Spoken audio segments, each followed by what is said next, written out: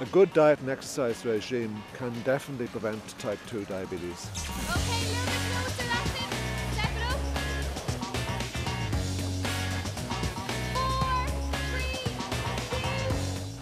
But more importantly, if you prevent diabetes progressing from pre-diabetes to diabetes, you save huge complications. Things like heart attack, stroke, problems with eyesight, blindness, kidney failure. These are very, very common with diabetes. Grab some water and you're moving to walking next. It's very easy standing two feet off the ground. It's only a small sip of water, it's not a barbecue. Let's go.